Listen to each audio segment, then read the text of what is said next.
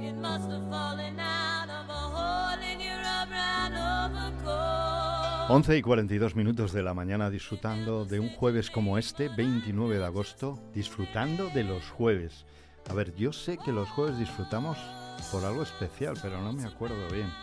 Sé que tenemos una sección, es que no me acuerdo bien. Y el caso es que la cara de nuestro invitado que tengo enfrente me suena de algo, pero le recuerdo como sin barba, ¿no? No lo sé si es el...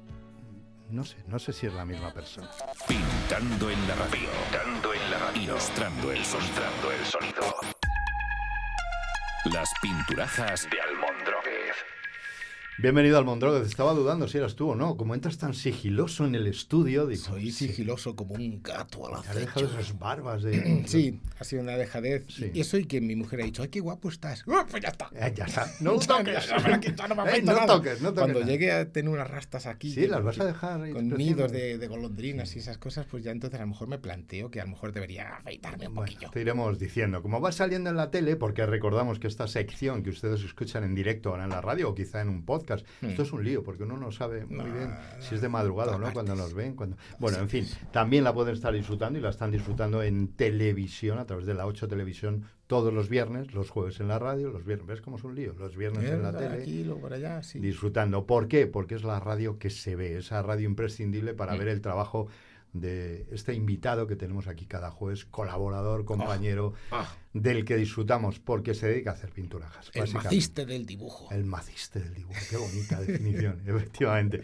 Bueno, pues como se dedica a dibujar Sí. mientras habla, habla mucho y dibuja también mucho, pero y además las dos cosas las hace muy bien, pues se lo queremos mostrar en la tele. Así Sí. que a partir de este momento irán viendo cómo se desarrolla ese dibujo que luego les mostraremos. Lo, lo de Ah. la tele, o- como siempre, es un riesgo, porque sabemos que una de las cámaras es posible pero que no bueno, esté grabando bien. eso es nuestra Lo aventura, sabemos, por lo eso ponemos muchas. Claro, y entonces miramos a todas para que luego en la Sí. edición se coja la, Alguna cogerá. Esa, estoy aquí, estoy aquí, no sé dónde saludarles. Bueno, Lo que se sabe.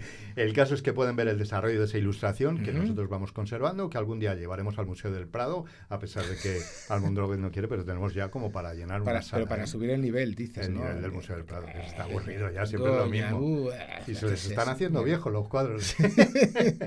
Yo creo que están ya. ha- Habría que cambiar de, de vez en cuando y que renovar un poco la casa, Claro que ¿no? sí, Las, por supuesto, Las por láminas. que nos Los pliegos, las láminas, las pinturas. ¿de qué vamos a hablar hoy? ¿De qué vamos a Pues es que, reflexionar? claro, esto, mm, esto de las vacaciones, es- hemos estado antes hablando de... pre- para que la gente se prepare a, a conciencia, para que luego no se lleve sustos. Y ahora es lo mismo, pero eh, posvacacional. ¿Qué es lo que ocurre cuando la gente vuelve de vacaciones? Que vuelve normalmente con unos kilitos de más. Sí, y nos da un bajón tremendo. Y dice, me voy a apuntar al gimnasio, eh, vamos a por ello, venga, todos en tropel ahí. ¡buah! Sí, pero O- van, van mañana y pasado, ¿eh? Y ya está. Sí, es posible. Y, y- o puede ser también que hagan muchas actividades en verano, nunca han hecho nada, y dicen, ¡oh, qué guay, el rafting, voy a hacerlo! Tal, tal". ¿Qué ocurre con todo eso? Que al final te lesionas. Ah. Así que vamos a hablar de las lesiones post-vacacionales y las, bueno, y eso en menor medida, las lesiones por vacacionales. Ah, eso, eso está muy bien, ¿eh? Sí, post y por. Por haberte claro. pasado en las Sí, vacaciones. pero ¿no? vamos a centrar sobre todo en el post, Ah, que es lo que la gente ahora va a hacer, porque la gente ya acaba las vacaciones. Sí, Sí. eh, que quedan dos días nada Sí. más. gracias por animar a toda esa gente que está disfrutando ahora mismo de la playa y que tiene que hacer la maleta esta noche. Escucha, de todos modos, también hay una tercera tipo de persona que es el que no hace ni antes ni después, ni durante. ¿Qué Nada. paso? Déjame en A paz. ver si me va a pasar algo. Claro, puede ser, o sea, puede ser. Aquí, ya en el mundo no es dos tipos de personas, tres. Tres tipos de Que personas. no haces nada, ¿Cómo lo vamos a que lo haces hoy? después y lo haces durante. Y lo vamos a decir. Hay Sí. tres tipos de personas. No, Ah, no, no, no, no, el apartado es el Ah, apartado. ah, Eso, ah, eso, digo, no. no Ahora que mezclemos había- cositas. Ahora que había aprendido que se me daba bien, a ver si me va a Hombre, cambiar. No, no, no. Me no, cambias no, no. una palabra. Pues empezamos como siempre. ¿Empezamos con ello? Sí, ya hemos perdido bastante tiempo, así que ya puedes empezar con lo ¿Cuánto me queda? te queda mucho, te quedan 13 minutos. 13 Oh, minutazos. 13 minutos, no Eso te un- creas. eh, es que acelerar, ¿Quién vive. Segovia? Para ti eso es un lujo. Tengo que acelerar un poquito. Ya. Venga. Vamos a ello. Cuando uno se va, vacaciones, se va de vacaciones, pueden ocurrir dos cosas, y más llegando a cierta edad.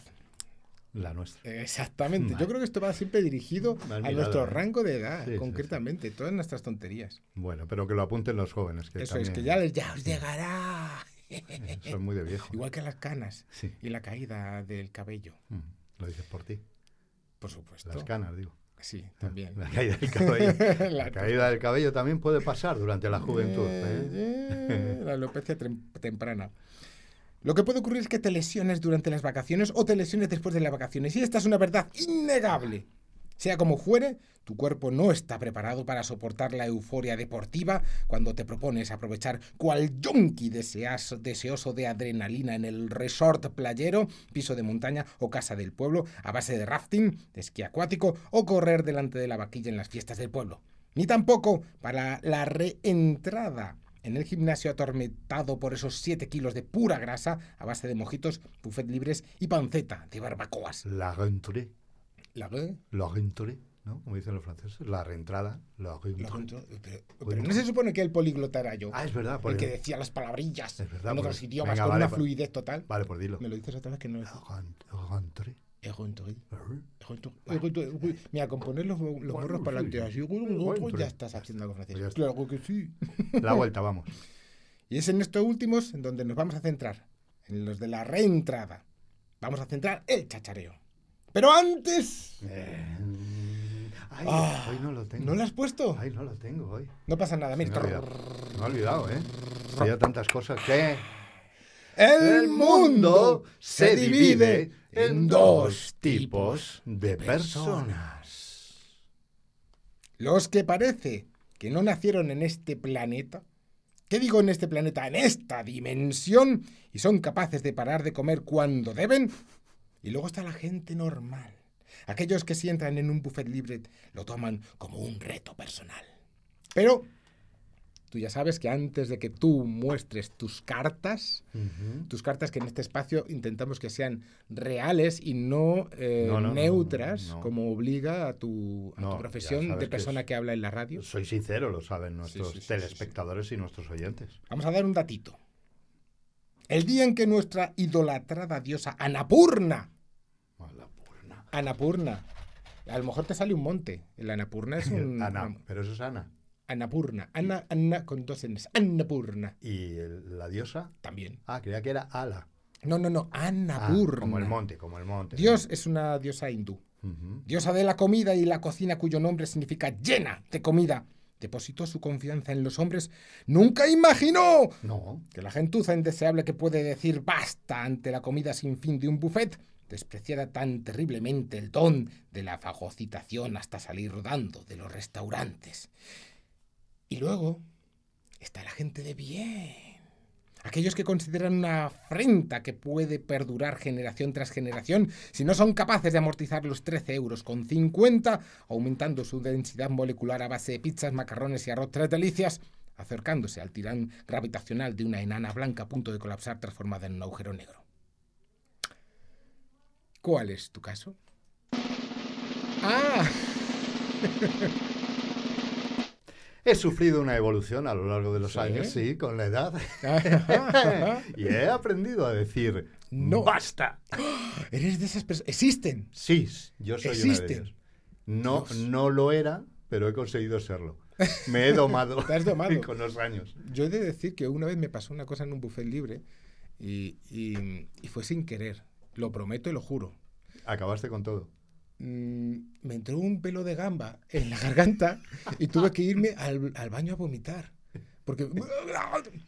Y claro, luego seguí. Claro, porque Entonces- quien te oyera diría, "Mira, qué, qué abusón, ¿eh? Pero ¿cómo, haciendo- pero ¿cómo es posible en ese cuerpo escombro que coma tanto? Y que está haciendo hueco, el que te viene a vomitar, y está haciendo hueco para Pues seguir. sin querer, de verdad, y me sentí fatal. Sí, por pero dije, la claro, comida. he pagado, yo tengo que seguir. Pues Y yo, sí, yo, sí. yo era de ¿Cuál los romano? yo, pues sí, sí, sí, sí, a muerte, a muerte, a muerte, a muerte, pero llegó un momento que no sé si me llegó a dar hasta vergüenza a mí mismo de decir, no ¿Por qué como tanto? Si nunca como tanto. Pero luego además encima te sientes fatal porque estás ahí, oh, te cuesta respirar, estás todo el rato diciendo, Dios, es que no puedo Recuerdo sentarme en ni una ocasión que ni-". además era Ah. eh, un hotel de estos, eh, en todo, ¿cómo es? Todo incluido, Todo ¿no? De incluido. pulsera, que a cualquier hora del día tenías Oh. algo para comer, a cualquier hora Oh. del día.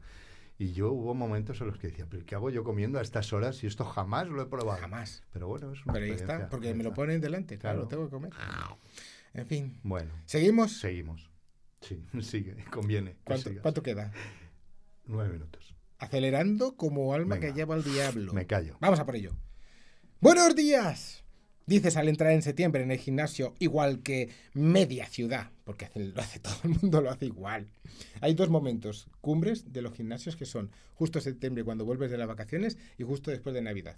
Y luego, y entre medias no hay una cola para darte de baja. Mm, No hay, claro, estás, tú estás eh, apadrinando un gimnasio. Claro. es lo que es. O bueno, eso es lo que dicen todavía quienes tienen rodillas funcionales, ¿verdad? Porque señoras y señores, qué bonito es el deporte, hasta que te jodes. Vuelves del verano como un cachalote varado, con una moral por las nubes, solo igualable por tu colesterol, y piensas, ahora sí, me pongo en serio, claro que sí, campeón. Que tu idea de en serio es empezar en el gimnasio con una clase de CrossFit a las 7 de la mañana, como si el infierno fuera a encerrarse si llegaras a las 8.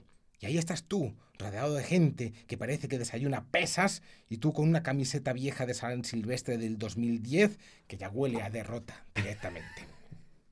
Venga chicos, solo son 50 burpees. Vamos, vamos, vamos. 50 burpees. Yo no sabía lo que eran los burpees. Ahora sí, y los odio. Pero dinos qué es. Los burpees. Pues tú, pues, tú estás de pie, tan cómodo, tan tranquilo, de pie ya es una cosa costosa, y de repente te inclinas, te bajas al suelo como si fueras a hacer una flexión, haces la flexión, de repente, ¡buah! como un brinco, como un saltamontes, vuelves a poner los pies donde estaban antes las manos y ¡uy! saltas para arriba. Pero qué necesidad. Ninguna. Digo Pero si yo, es que- ¿eh? pero- Cuidado, si estabas bien de pie. Eh, lo único que consigues con esas 50 burpees son 50 motivos para no volver a hacerlos. A lo mejor es por eso. Claro que sí. El único burpee que conozco es un amigo mío que produce un sonido eructando como si fuese una oveja de 200 kilos. Y le llamáis burpee. No, Ah. se llama Manolo y te aseguro que es- sus eructos suenan como una oveja de 200 kilos. Y es lo mismo que burpee, burpee. Es que suena, suena eructo. O sea, ¿quién, quién tuvo la idea? Eh, tuvo la idea alguien de, lo, de un gimnasio que no Sí. quiere que hagas mucho Venga, gasto. Y que vamos a hacer 50 eructos. Eh, Tráeme una Coca-Cola y empezamos. 50 burpees. Pero no, tú sigues, porque no quieres ser menos, porque la idea de ser el único que no ha publicado un su post entreno en Instagram te parece peor que la muerte. Y ahí vas tú, queriendo encajar, queriendo impresionar, y claro, pasa lo que pasa. A mitad del burpee, en el número 2, crack, algo se ha roto. ¿Qué ha sido eso? ¿Mi rodilla o mi alma abandonando el cuerpo? Y estás en urgencias otra vez explicando al médico que tu última actividad física real fue cuando intentaste subir las escaleras eléctricas al revés porque llegabas tarde al cine. Doctor, creo que me he roto algo. ¿El ligamento? No, la dignidad. Pero el cabronazo del ligamento también se ha unido a la fiesta. Y ojo, que esto no es solo para el gimnasio. No, no, no, no, no, no. Los más valientes deciden que correr es la solución. Claro, correr. ¡Qué planazo! Te compras unas zapatillas de running carísimas, por cierto, que cada vez es como se pone algo de moda. Antes cogías una zapatilla, te ibas a correr. Y lo único que encontrabas era alguna oveja, algún perro pastor que te perseguía y te hacía subir la media y bajabas Como el kilómetro. ¿no? Sí, Eh, sí, sí. Y claro. dices, he hecho el kilómetro a 2,50. Sí, porque si no te comía un perro. claro. Y ahora está todo lleno de gente por todas partes. Con sus medias de compresión, con sus mallas de no sé qué, no sé cuánto. Y Con los antes, dispositivos todo, por los todo, brazos, todo. ¿verdad? Las- Yo, yo cuando iba a correr, zapatillas, la cosa más guarra que haya, porque voy a sudar. Claro. O sea, te pones de maquillado y todo para, para sudar. No. Si es solo correr. Claro, pues esas zapatillas que te compras tan carísimas, en el tráiler que te ponen, te prometen que con cada zancada te vas a convertir en una maldita gacela Thompson. Y ahí vas trotando por el parque o como si estuvieras en un anuncio de Nike, pero lo único que consigues es joderte el tendón de Aquiles en la primera vuelta. Y al final, lo único que corres es hacia la farmacia para comprar una pomada antiinflamatoria de oferta, a ser posible, ya que tu mermada cartera dio su último suspiro en el resort con el décimo quinto caipiriña. Y los que dicen, no, yo hago yoga, que es menos agresivo. Sí, claro, yoga. Esa disciplina que se supone que es relajante hasta que intentas hacer la postura del Astavakrasana, o que es más conocido en el segoviano común como postura de los ocho ángulos. Y parece que has estado haciendo sparring contigo mismo en una sesión de jiu-jitsu brasileiro. Ahí ya he introducido el poliglotismo. Jiu-jitsu brasileiro. eh, claro que bien. sí. Y ahí, tirado en el suelo, te das cuenta de que tus músculos no son tan flexibles. Son más bien como las galletitas saladas intentando mantener su integridad molecular en un cumpleaños con 25 niños hiperactivos por la sobredosis de azúcar de la tarta azul del Mercadona. Ah, tienes el color carne ahí, ¿eh? No se te olvide. No, el color carne ya lo he utilizado. Ah, ya Estaba haciendo el verde Ah. para los pies. eh. Ah, Y ahora voy con los mm, colores rojitos de las estrellas. Bueno, porque el pobre está sufriendo un poquito. aún te quedan tres minutos. que- Bah, me da tiempo. Lo mejor de todo es la recuperación, porque claro, te dicen que tienes que hacer reposo. ¿Reposo? Pero como Dios te trajo al mundo cabezota como tú solo, sigues y sigues porque necesitas ese subidón de dopamina o lo que sea que te venden los gurús del fitness en redes sociales. No pain, no gain. ¿Lo has oído alguna vez? No, ahora. Bueno, sí, pues mira, sin sufrimiento no hay victoria. Pues mira, yo tengo un esguince en el tobillo y aquí el único gain que veo es el de los kilos que me comí en el buffet libre. Y así que ya sabéis, queridos amiguitos, la próxima vez que volváis de vacaciones con la intención de hacer deporte, pensadlo dos veces, porque la vida es una carrera de fondo, pero la única línea que, de meta que vais a cruzar está en la consulta del fisio. Muchas gracias y a seguir lesionándos siempre, si es posible, con estilo y elegancia. Y no os olvidéis que en 15 días os dais de baja en el gimnasio. Ay, pero me, me falta un ching o Sí, algo así, ¿quieres algo un más? que- o sea, no sé, porque es un terror pues, sin más, pero falta un, como un ching. Sí, ¿quieres un que ching. lo...? Venga, Otro día. otro día. Ah, Claro. te he pillado, ¿eh? Claro. No has Soy mirado de- a Anapurna, no has puesto el chimpún final. Para que quienes nos escuchan por la radio parezca que lo he buscado, he hecho el ruido. Oye, Ana eh, Purna. Pero en la tele nos han nos descubierto. sobra como para decir algunos datos curiosos del mundo mundial, que es que un- siempre me lo traigo aquí un apuntado y no... Un sí. minuto, sí, sí. ¿Sabías que No. melifluo es un sonido que al escucharlo resulta agradable, suave y musical? Pruébalo, que tú tienes una voz guay. Melifluo. Melifluo. Melifluo. Melifluo. Vamos a poner con tonos raros, a ver si realmente es... Melifluo. Ay, Melifluo. Melifluo. Mele- No, eh, Eh, no. Melifluo. No, parece que estabas en el buffet libre ese. Sí. No, pero así suave queda muy bien, ¿eh? Melifluo. Es porque como- te lleva el fluo. Es como la, made- la madera de ébano. El Ébano. ébano. Sí, es como... Ah, Ébano. qué guay queda, ¿no? Un ébano melifluo. Eh, ¡Oh! oh, ¡Qué bien lo combinas! ¿Cómo se nota que eres una persona que habla en la radio? Voy a comprarme una mesa de ébano melifluo. Eso puede quedar hasta chulo como de diseño. Sí, lo malo es cuando lo Claro. mezclas de una manera estúpida. Por ejemplo, voy a melifluar una mesa de ébano. ébano, no. Ya eso que queda muy te mal. De la otra manera queda como muy sí, viejo, ¿no? sí, sí, sí, ¿Quieres otro dato curioso? Sí, venga, otro. ¿Me da tiempo? Eh, Pero muy poquito. Los dientes humanos son la única parte del cuerpo que no puede curarse por sí mismo al estar recubiertos de esmalte, que no es un tejido vivo. ¿Eh? ¿Cómo? Sí, pues eh, que, que los dientes humanos son la única parte del cuerpo que no se pueden regenerar sola porque están recubiertos de esmalte, que no es un tejido vivo. Almondroguez, muchísimas gracias. Tenemos ya terminada la ilustración en estas pinturajas de hoy. Madre mía, accidentes por vacacionales. Aquí está, lo pueden ver. Post y por. Post y por, bajo la luz de la luna o bajo el sol. Oh. Hay que cuidarse, no se vengan arriba. Vienen ahora épocas duras hasta el invierno. Hay que disfrutar. Nos vamos. Y crucemos los dedos de que se haya grabado todo bien. Seguro que sí.